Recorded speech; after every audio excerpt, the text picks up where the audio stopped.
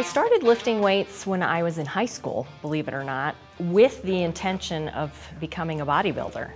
I think I saw it on TV and was like, wow, I want to do that. I always like to have a personal trainer just to keep me on track and to keep me um, accountable. And I had done CrossFit and bodybuilding and powerlifting and all these things, you know, a little bit of CrossFit.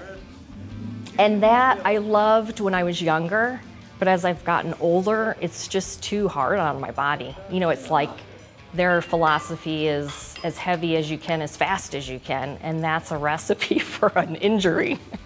So I felt like I always had a little injury or something nagging. For bodybuilding, to get the size, I think, is more powerlifting. And then to sort of shape the muscle is accessory work. I found starting strength and I found somebody to help me with my diet and keep me on track with that. And I love the coaching. It's so nice to have somebody make sure your form is right because it's never quite perfect.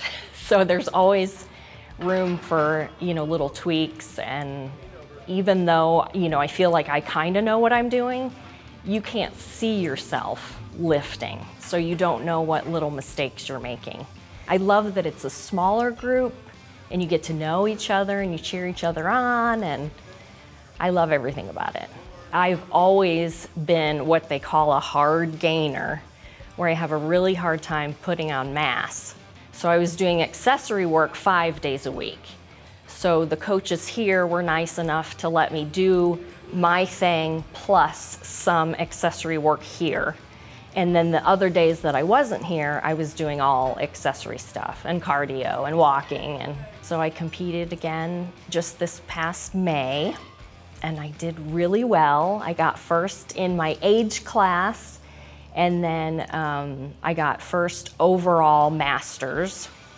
And then I came in second in the open, which is like every age altogether.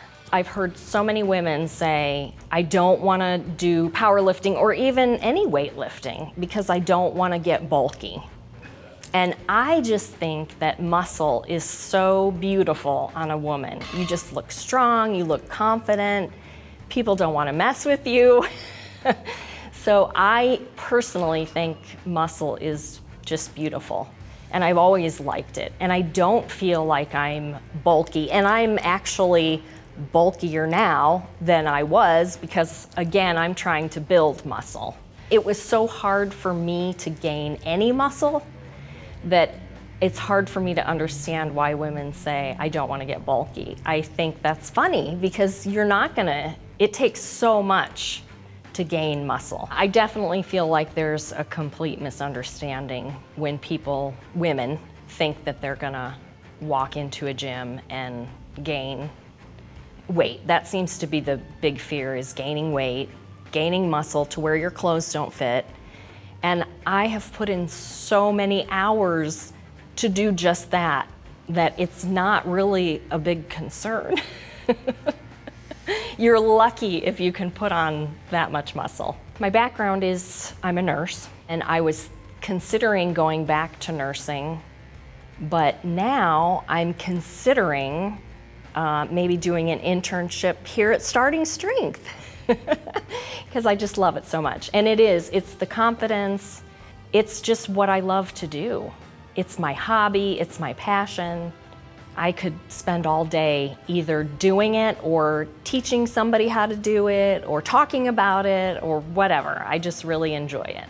I definitely have peers that I see, um, like other moms at the school, other friends that aren't as interested as I am in working out. And I feel bad for them because they don't seem to have the energy that I have and the youthful, I mean, I hate to say that because it's talking about myself, but um, I don't feel like I look 51. So I like that.